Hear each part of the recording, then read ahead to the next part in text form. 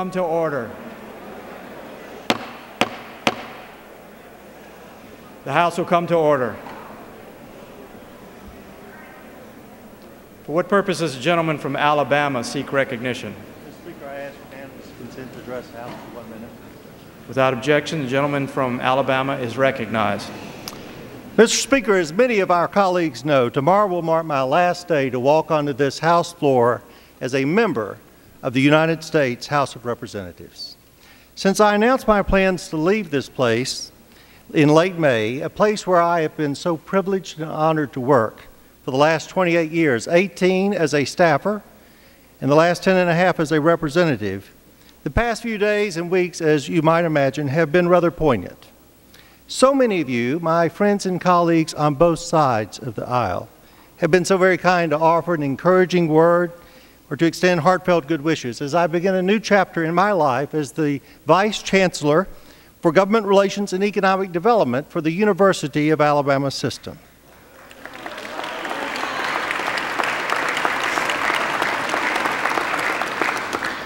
To each and every one of you who have been so generous with your words, thoughts, and even a few prayers, I want to thank you from the bottom of my heart. A few have even asked if I had any parting words to share, and I won't share these with my colleagues. I wouldn't do that to you. But I would like to speak for just one minute to the American people. You know, one of the reasons I so rarely come to the House floor and speak is because my father, who died when I was 13, always told myself and my brother and sister that if you listen to the words of others instead of listening to your own words, you'll learn a lot more. So I've tried to follow my father's advice. The other reason that I so rarely take your time to listen to my thoughts is because of my very first speech on the House floor. And with your indulgence, I will share it briefly for you. Every one of us remembers your first House speech, I'm sure, when you were a newly minted member of Congress. Mine was unforgettable for a different reason. It was back in early 2003 when the House was debating the Healthy Forest Bill. I remember it as though it were yesterday. Like most freshmen, I served on several committees, and I was actually in a budget committee hearing all day long when I got a call from the chairman of the Ag Committee, Bob Goodlatte, who was my chairman, and he said, Jo, you need to get over on the House floor because you're getting ready to make your first speech.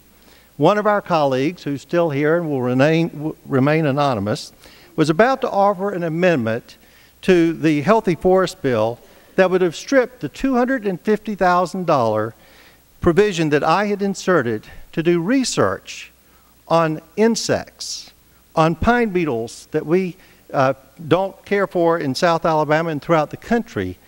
And he was going to strip it and take it for a project that was near and dear to him in his district.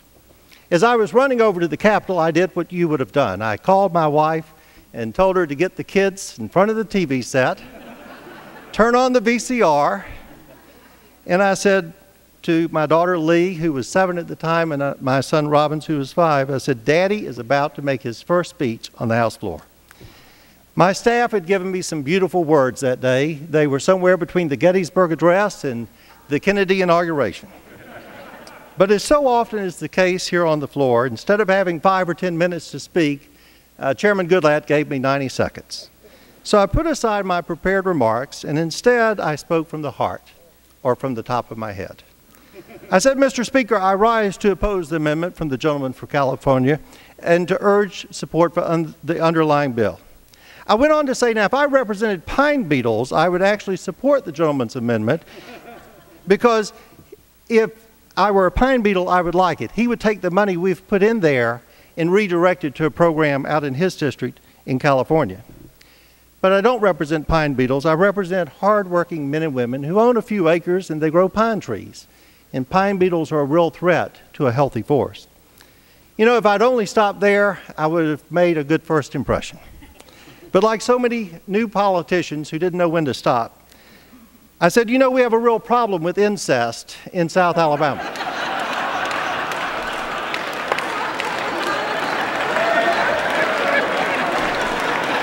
I said, in fact, I would venture a guess that we have more problems with incest in my district in Alabama than in any other congressional district in America. And Chairman Goodlatte was going like that. And I thought he was saying, Preach on, brother, preach on. Instead, he was urging me to shut up. So I got back to my office thinking I'd delivered one of the best speeches on insects ever made.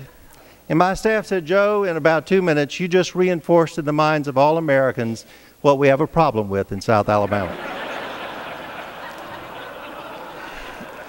That's the other reason that I don't often speak on the House floor. But fortunately for me, these wonderful people who work here, taking note of every word, knew what I meant to say, not what I did say. I, I tell that story, Mr. Speaker, in closing for this one reason. You all laughed at that story, as so many others have over the years. And a little laughter from time to time is good medicine, as the doctor says. Perhaps our country needs to laugh a little more often as well and stop yelling at each other and working closer together. For sure, our great country has many daunting challenges facing us. Sadly, all across our land, there's anger, there's frustration and concern on both sides of the political spectrum about what's going on or what's not going on. Public approval of this body, which we are all so honored to serve in, is at or near an all time record low. But if I could say one parting word to the American people, it would be this The men and women that you have elected to represent you in this, the people's house, have different views and positions on the very issues that you have different views and positions on. And by and large, and with rare exception, these are men and women of courage, of integrity, of decency. And they serve along with many, many men and women as staff who work here, oftentimes in the shadows of the spotlight. They serve for the same reason a common love of country. Make no mistake, Sam Johnson loved America when he was being brutally beaten and held against his will as a prisoner of war for over seven years in Vietnam, often wondering whether he would ever see his family again. And John Lewis loved his country when he was beaten and bloodied, fighting for the civil rights of all Americans as he was crossing the Edmund Pettus Bridge in the city I was born in, Selma. And just like Sam and John, every other member here, Democrat, Republican, liberal, conservative, we all work for the American people with the singular goal of making our country a better, more perfect union even though sometimes as humans, we sometimes fall to fail to meet your expectations. This is especially true of our leadership on both sides of the aisle, who often have one of the toughest jobs trying to corral the strong will of 435 members of Congress who come from all parts of America to try to do the right things. To my committee chairman and ranking members and all of the people I've served with, I owe you my debt of gratitude. In closing, I want to express my last expression to the wonderful people of South Alabama for giving me the opportunity to work for you for the last 10 and a half years as your congressman. I came to this job having studied at the feet of two of the most outstanding men I know. Jack Edwards and Sonny Callahan, like me, came to office as a representative from Alabama, but they left office as statesmen. And anything that my staff or I have ever been able to do for the people of my district, it's been to build on the legacy of those two great men. Lastly, I would like to say this. The people of my district have afforded me a rare honor in Alabama, one of only 167 people, men and women, to ever serve in this body. The rest of us, only 10,000, plus men and women have ever had the privilege of being called a representative of the people. I would be extremely remiss if I didn't say a special thank you to my wife, Janée, our daughter, Lee, and my son, Robins, who, like they were 10 and a half years ago, are back home in Alabama listening to your daddy talk about incest. thank you for your love and support. May God bless you and may God bless America.